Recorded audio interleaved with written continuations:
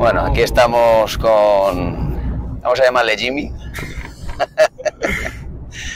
Em, vamos a hacer otra entrevista, como hicimos con, con Uris, en el que, bueno, eh, voy a preguntarle, voy a hablar con él sobre eh, por qué, cómo, cuándo, para qué es, para qué es el baloncesto para él y, bueno, a conocerle un poquito, un poquito más aquí a, a Jaime. Entonces, bueno, eh, nada, Jaime, preséntate un poquito. Pues soy Jaime y tengo 17 años y, y yo empecé a jugar al baloncesto a los 5 años, así que llevaré unos 12, llevo 12 años jugando. ¿Y dónde estás jugando? Eh, pues ahora mismo estoy jugando en el Claret de Segovia. Eh, ¿Has jugado siempre en Claret? Eh, no, hubo un par de años que nos fuimos a otro club de Segovia, eh, que se llama el Basket 34, y luego desapareció y volvimos a Claret. ¿Y has pasado por qué categorías en Claret? Eh, pues en Claret eh, la única que me perdí fue infantil, todas las demás las he jugado en el Claret. Y cuando recuerdas, claro, que está diciendo que desde los 5 años, ¿tú recuerdas el motivo por el que decidiste ponerte a jugar a baloncesto? Eh, el motivo fue porque en mi casa está, eh, mi padre había jugado siempre y yo lo empecé a, pro- eh, lo empecé a probar y la verdad es que me, que me gustó mucho, la verdad. ¿Tu primera experiencia y tu primer entrenador, te acuerdas de él? El primer día que llegas. Sí, a ver, mi, mi primer año un poco mal porque yo tenía dos años menos que los demás. Entonces era una diferencia de años y de altura pues que, que no que era mala la verdad. Jugaba poco y por así decirlo abusaban de mí. Que jugabas poco con esa edad. Me refiero, jugaba pero no te la pasaban tanto Ah, vale, por vale. ser pequeño y pero, pero bien. El- lo que se llama buscarse la vida, Sí. básicamente. ¿no? Vale. Y del baloncesto, desde entonces hasta ahora, eh, cuéntame algún momento que para ti haya sido especial, que, que hayas dicho, hostias, o sea, por esto hago baloncesto. Pues a ver, yo hago baloncesto por el simple hecho de que es una manera de, de olvidarme de todo, de desestresarme y también de, de conocer a gente. Luego ha habido muchos momentos jugando que, que van a ser inolvidables, la verdad. Que me voy a quedar con ellos siempre. Pues cuéntanos uno. Pues mira, te voy a contar el primero que tuve. Fue en quinto sexto de primaria con la selección de Segovia poder viajar a Béjar y jugar el campeonato de Castilla y León con la selección de Segovia. ¿Y el peor momento? Si es que se puede contar. Pues el peor momento pues ha sido cuando ha habido época de cambios o, o cuando se han ido compañeros y al siguiente año nos ha costado mucho seguir adelante, pero tras esfuerzo de las personas, a pesar de una mala temporada, lo hemos conseguido sacar adelante. En general, tu experiencia con tus entrenadores, ¿cómo ha sido? Pues eh, es como todo, hay entrenadores que te gustan más, que te gustan menos, pero ahí están todos. Llevamos unos años que a mí personalmente no me han gustado, pero, pero han estado, me han ayudado, me han enseñado cosas nuevas, así que bien.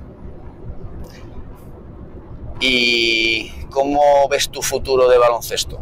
¿A nivel jugador o, o entrenador?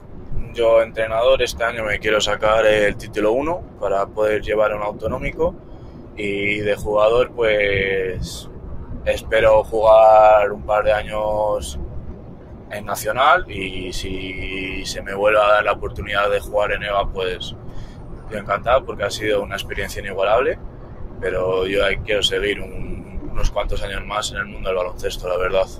También eres árbitro, ¿no? Sí, ¿Y cómo surgió el tema de ser árbitro? Pues no sé, a mí me, a mí me gusta mucho el baloncesto y, y quería ver el baloncesto de otra manera. Era ver cómo, cómo lo ven los árbitros desde su punto de vista. Y desde entonces he cambiado mi manera de jugar y he cambiado mi comportamiento, por así decirlo, porque yo antes me quejaba mucho y desde que lo soy me he dado cuenta que es muy difícil. Porque tienes un criterio que a lo mejor los jugadores y los entrenadores no lo ven. Aparte de baloncesto, ¿tienes algún otro hobby? Eh, la música. Me gusta mucho escuchar música y de vez en cuando hago alguna canción y, y grabo mis propias canciones. O sea, que más de cantar que de tocar instrumento. Sí, más de cantar. ¿Qué tipo de música es?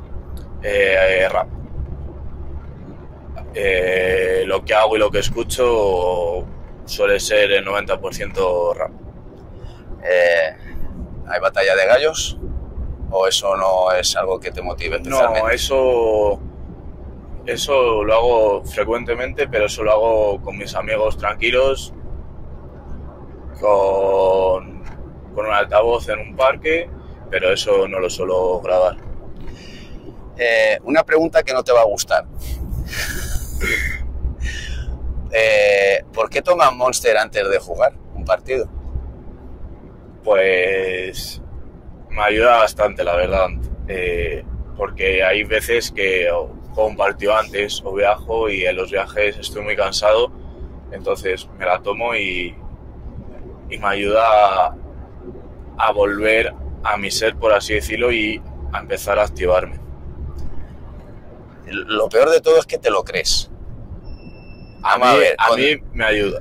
Con 17 años que tienes, camino de 18, a punto de cumplir 18, si ahora estás con esas cosas, ya me lo contarás dentro de unos años. Pero bueno, eh, estamos hablando de ti. ok, em, compañeros de equipo, ¿vale? No vamos a decir nombres en ningún momento, ¿vale? Pero cuéntanos alguna experiencia o alguna situación que para ti con algún compañero o compañeros haya sido eh, muy positiva y una que haya sido muy, negativa. Pues eh, aquí voy a hablar en torno a equipo. Eh, hubo un año que estuvimos a punto de clasificarnos para Campeonato de Castilla León con nuestro equipo. Y tras una serie de movidas con árbitros y eso en un partido en Ávila, pues al final no conseguimos pasar a fase. Y luego todos estuvimos muy unidos, ese año fue muy bueno y, con eso me quedo. Y luego años malos es cuando, cuando se han ido o cuando hay gente del equipo que, que solo quiere sacar el partido hacia adelante y al final ahí te, te frustras porque ya no sabes qué hacer y ya hay hasta veces que se te quitan las ganas de jugar. ¿Has llegado a ese punto en algún momento? Sí, he llegado un- un- una vez. ¿Y Por- qué, ¿Y qué te hizo cambiar de opinión o no tomar la decisión de dejarlo? Pues porque llevo toda mi vida, porque también dejaría tirar a mis compañeros y si no lo dejas por mis compañeros, porque llevo jugando todavía con ellos y si me he comprometido a jugar un año con ellos, lo juego. Da igual lo que pase, que sea bueno o que sea malo, que yo termino el año. Y también por mi padre, porque a mi padre le gusta mucho el baloncesto y le gusta mucho verme jugar y para él sería una pena eh, que dejara yo el baloncesto. Del baloncesto en general, eh, de las vivencias que has tenido hasta ahora, que eh, eres joven, con lo cual te queda mucho por, por ver, escuchar y, y vivir, pero de lo que no tenga que ver con entrenadores, jugadores, entrenamientos y demás, de lo que rodea al baloncesto, dime algo que no te gusta y algo que te motiva especialmente. Eh, que no me gusta, pues sobre todo aquí en Segovia, son las habladurías, porque aquí en Segovia nos conocemos todos. Hay dos clubes grandes, que es el Cebas y el Claret, y entre todo siempre ha habido una, eh, una rivalidad y, y llegas un día a un partido y te encuentras cosas que tú no has dicho y que se van rodando por ahí. ¿Y por qué crees que ocurre eso? Pues porque hay una rivalidad y hay veces que tanto los del CEASE como los del Claret, más de la mitad de ambos equipos hemos estado en la selección de Segovia y siempre hemos querido jugar juntos en un mismo equipo, pero por circunstancias de coordinación no se ha podido y yo creo que es por eso y por la rivalidad que hay entre nosotros. ¿Y algo positivo que de lo que rodea al baloncesto? Pues mira, yo ahora este año que, he empezado a jugar con gente más mayor, eh, senior y, Eva, es el, el, ambiente que hay. No es entrenar y si acabas de ir a jugar, es estar en comunicación con todos a lo largo de la semana y el día que se puede, después de entrenar o después de un partido, ir a tomar algo y estar ahí media hora ya fuera del baloncesto y creas un ambiente de amigos bastante, bastante grande. Eh, a nivel de estudios y laboral, ¿dónde te ves en un futuro? ¿Qué es lo que quieres hacer? Pues yo ahora mismo estoy pensando dos cosas, o opositar para ser policía nacional o hacer un grado superior de educación física y luego carrera y luego ya ser profesor. Pero algo con el deporte y, algo que me mantenga activo es, es lo que quiero. ¿Viaje que te gustaría hacer? El viaje que me gustaría hacer es fuera de España porque yo nunca he viajado fuera de España y me gustaría ir a Estados Unidos porque ahí hay mucho baloncesto o también a Serbia, porque en Serbia también hay mucho baloncesto y, y con el ambiente de me relaciono si sé que viajo con ellos, como es de baloncesto, también les va a gustar ese viaje y, esa experiencia. Eh, cuéntame algo sobre algún viaje que hayas hecho que te haya impactado lo que te has encontrado o que te haya asombrado. Pues justamente este año el, primer viaje el primer viaje de Eva, la verdad, porque yo pensaba que no iba a formar parte del equipo y el día antes de ir a jugar me llaman y en el viaje estaba muy nervioso y llegamos a Marín y vimos vi el pabellón y digo no será no será tanto y entré y y me quedé asombrado, la verdad. Y en esa experiencia este año con el equipo EVA, eh, de los rivales eh, a los que te has enfrentado, ¿hay alguno en particular o alguna situación en particular que hayas dicho, joder, solo por esto merece la pena estar aquí? Todo, porque yo cuando no formaba parte del equipo iba a verlo y verlo en las gradas y verlo en el banquillo jugando es muy distinto. Los minutos que he jugado han sido únicos. Tener que defender a un chico que te saca una cabeza y 15 kilos y quitar un rebote o provocar una falta es lo que te hace sentir la euforia de jugar en EVA, porque en otras categorías no se nota tanto la diferencia. Cuando eh, surge la situación eh, de que juegues en EVA, eh, ¿qué porcentaje de oportunidad creías que tenías de, de, poder jugar?